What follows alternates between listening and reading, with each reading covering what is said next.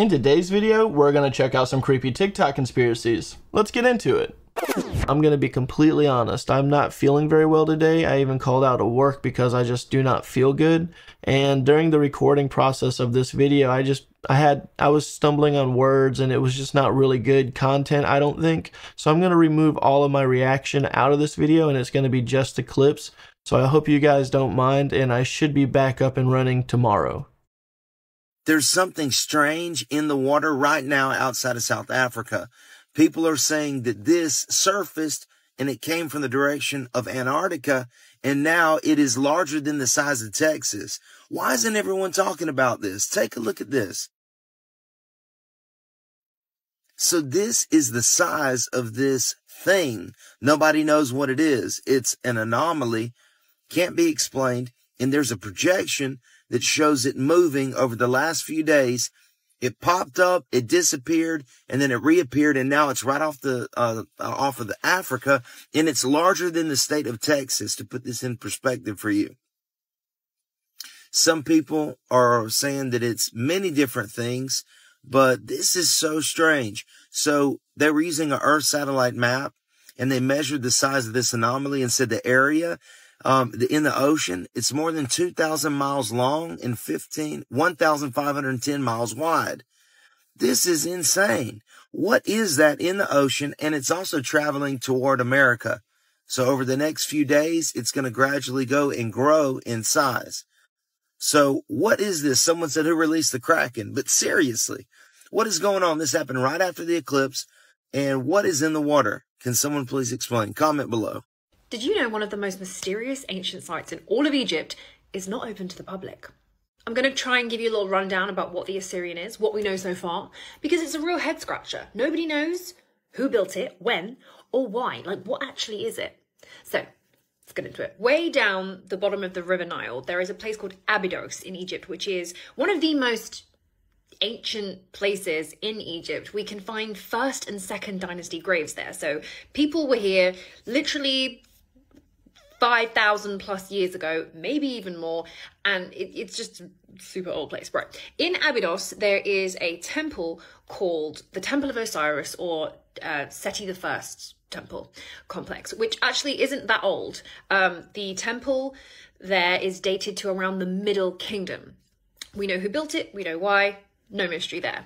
What is mysterious though is that around the back, below the ground level of the Temple of Osiris, we find a thing called the Osirian meters below the ground level of the surface of the temple above. Are you with me? This is looking down from ground level. This is how deep into the ground the Osirian goes. There is a mysterious temple complex deep into the earth. And don't let the photo before uh, confuse you about how big this site is.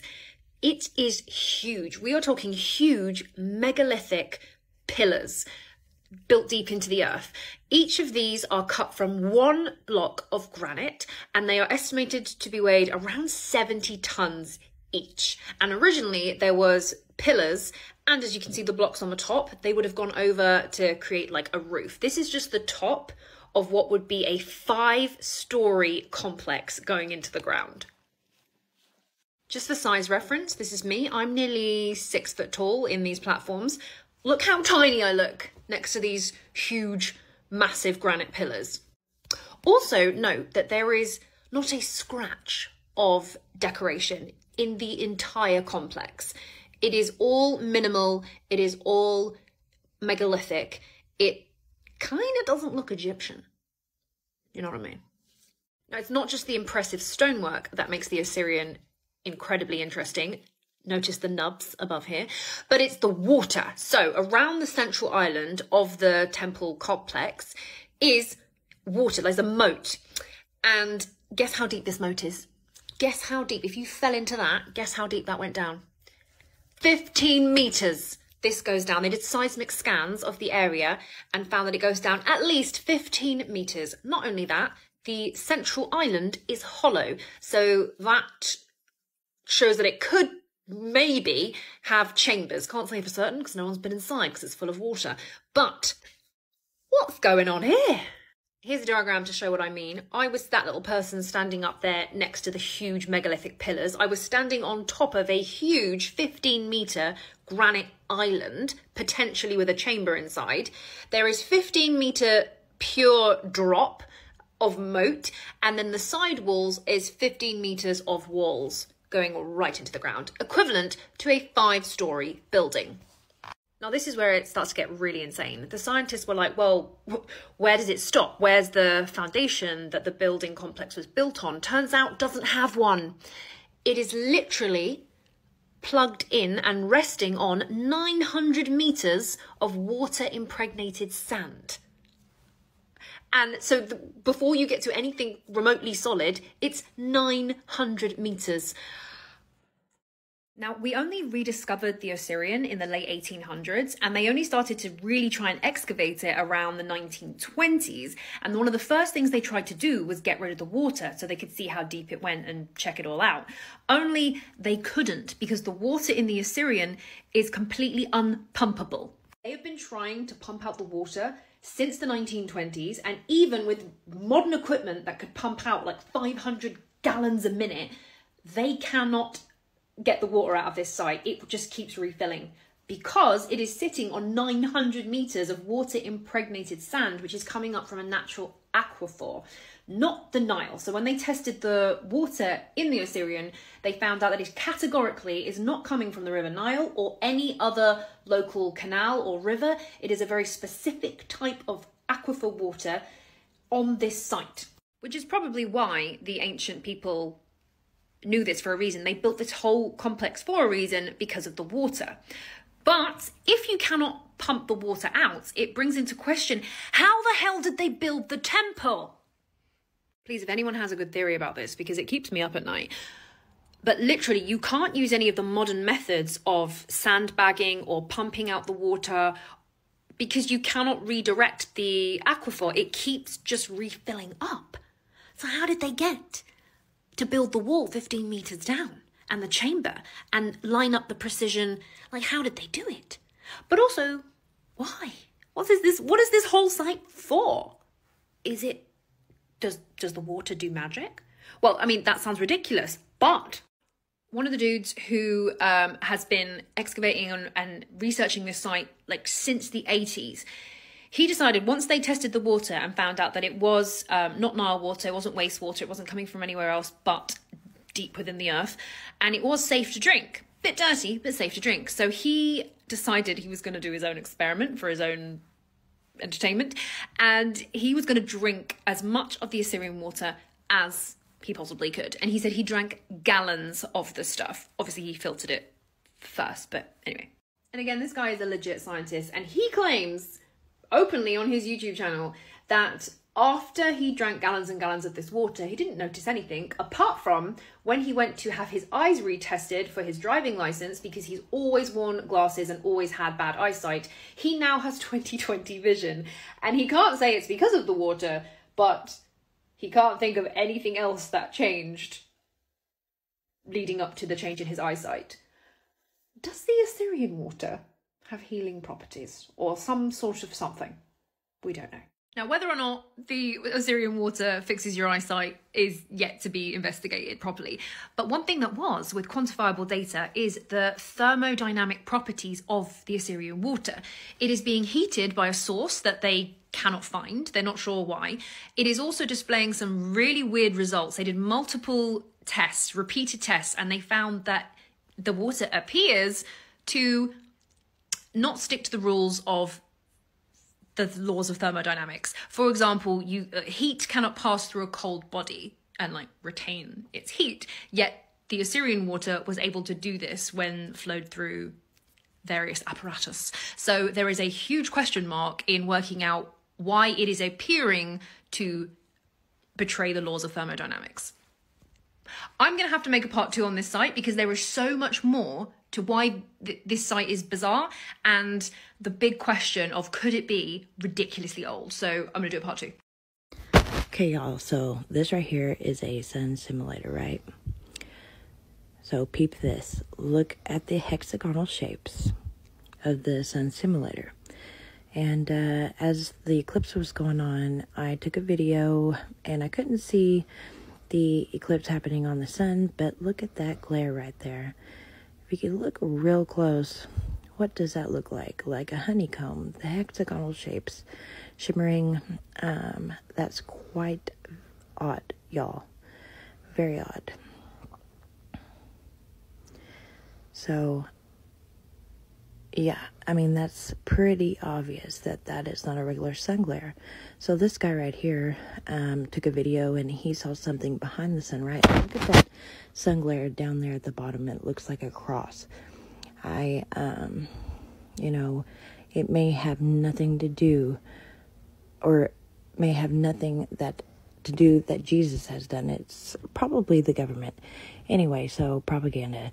So I decided to take it into the editor and look at this, you guys. Play with the, uh, you know, the uh, contrasts and all that stuff. Well, I be dang, what does that look like, guys? There is, without a doubt, you guys, a sun simulator in front of our sun. Why? I don't know. They're hiding something, and or has something to do with our food source. Um, they want us to get sick. They want our crops not to grow, so we become reliant on them.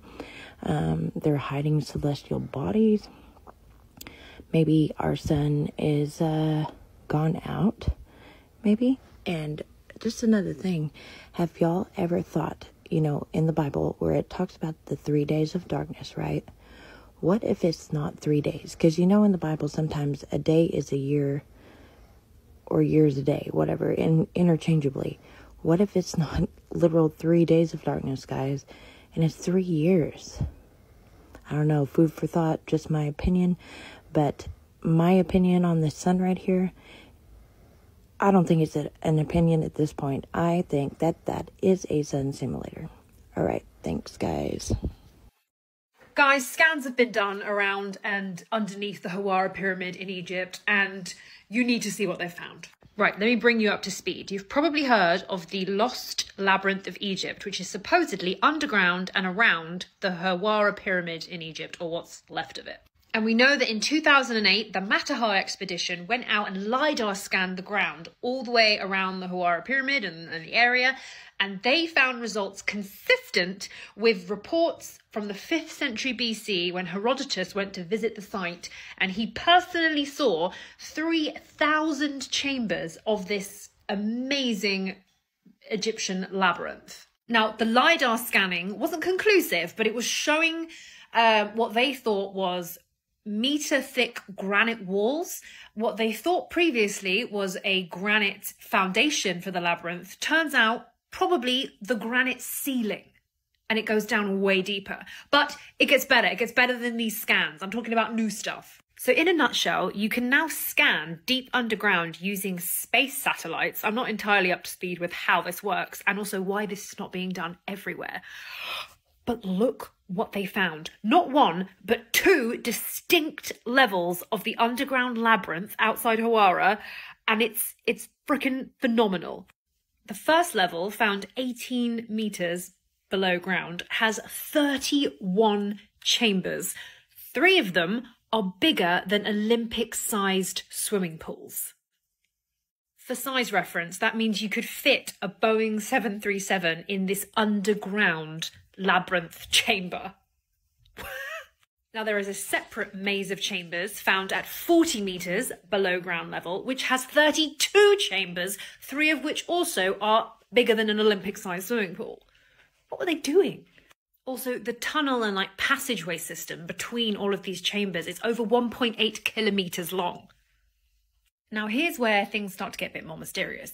When measuring the alignment, the angle of where the underground labyrinth is aligned to compared to the Hawara pyramid above, they they don't match. They don't seem to like be cohesively in sync with each other.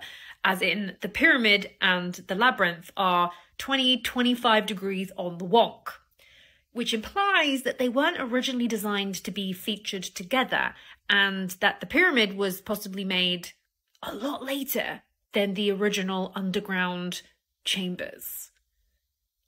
So when were they when were they made?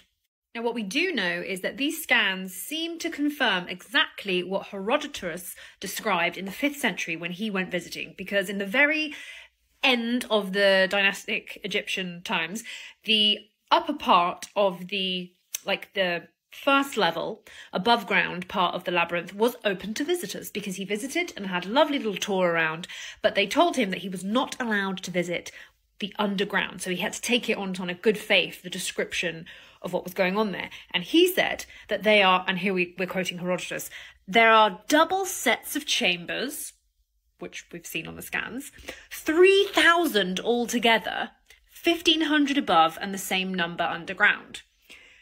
We, well, we, we haven't found 3,000, but maybe they were like built up into smaller sections back then. We don't know. Um, we ourselves have viewed that those that are above, and we speak of what we have seen, but we've learned through conversation about the underground chambers. The Egyptian caretakers would by no means show them to us, as they were, as they said, the burial vo- vaults of the kings who first built this labyrinth. Interesting choice of words that Herodotus used. That not the kings that built the labyrinth, the kings who first built the labyrinth for me, that could imply that there were stages in this construction, levels. It was something that has been developed over time, and he was referring to the first builders. But there were, if there's a first, there's got to be like other ones, right? Now, sadly, every bit of the visible uh, above ground part of the labyrinth has entirely disappeared because after the fall of the dynastic Egyptians, the um, the Arab settlers came and recycled pretty much the whole site. Uh, the air, there was like a village that outside Hawara, um, which was known as like a mason's, uh, stonemason's village, where because people were coming and just chipping off whatever they wanted and repurposing it into uh, other buildings, other structures. So what's mad is that around the world today, there are probably structures that have parts and bits of jigsaw pieces of the lost labyrinth of Egypt and they don't even know, which absolutely breaks my heart. However, with the new satellite scans, it shows that the chambers below ground are still very much there. So we we really need to like get some spades and and sort this out because we're on a time limit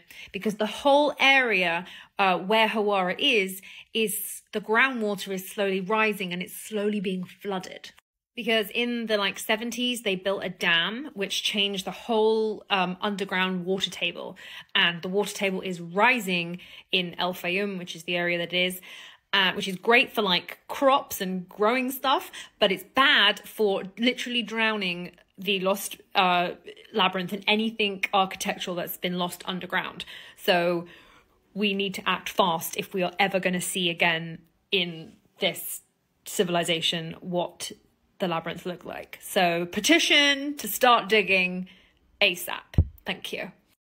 I don't know why people are not talking about this, but there's going to be a star in the sky that explodes soon, and it'll be so big the entire world will get a chance to see. Experts have already started moving past the solar eclipse to now predict a once in a lifetime nova explosion in just a few weeks. Experts have even pushed up their predictions from a couple months out to now just a few weeks, so be sure to add me so I can keep you guys updated. They go on to mention that the TCRB for short explodes once every 80 years, so the last time that this has happened was back in 1946. Experts are saying that the star is roughly 3,000 light years away from Earth in the corona borealis. Now, the star is considered a once in a lifetime eruption because it explodes every 80 years. Most of us won't get a chance to see it again. People are making this a big deal because it is going to be visible with the naked eye, so no expensive telescope is going to be needed to view this event. So these scientists have mentioned that the level of brightness of this star exploding will be very similar to the North Star Polaris. And again, it is important to know that no one knows exactly when this star was set to explode, but we will be looking to the Corona Borealis or the Northern Crown to watch this event occur.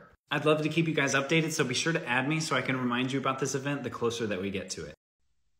When you're on top secret clearance, when you're working for the government and they fly you into Area 51 and you're doing fucking work on spaceships, you're not allowed to tell anybody, including your wife. Yeah. So you get a phone call like 11 p.m. I gotta go to work. And he would leave, and the wife was like, this lot of fuckers, she, yeah, yeah, yeah. So she starts having an affair. Uh, so she starts having an affair back. Exactly. So she starts having an affair, and she starts having an affair, and all their phones are tapped, of course. But she doesn't know their phones are tapped because she doesn't know what he's doing. Why would she? Because she he can't tell her what he's doing. So she starts fucking this guy, and then they're worried that he's going to be in a situation of emo- emotional turmoil. Airbnb might be having an effect. So they don't share the information with him. They just release him. He's now fired. So he's going back to his friends like, I'm working on fucking UFOs. They have real UFOs. They test them every Wednesday. So he takes people out to Area 51, to an area that's restricted now. But back then, before the Obama administration came along, and the Obama administration expanded the boundaries of Area 51, it was the first time they admitted Area 51 even existed. So they had expanded because too many people were getting close enough to film things. So these guys went out there and they'd filmed these fucking flying saucers flying around. And they've, this, there's videos of the saucers. There's videos of these things moving around the desert. You can find them. There's grainy Area 51 footage. So they're doing these things where these vehicles are operating in a way conventional vehicles in 1989 were absolutely incapable of doing, right? As far as our understanding, right? He gets arrested. They catch him. What are you doing? And he says, he just spends the beans. I got fired. I wanted to let people know that this is real. Now his life's in danger. There's even a dish on the moon that we transmit via laser information to every single week. Who, who are we talking to on the moon? What makes you think that they've already made communications?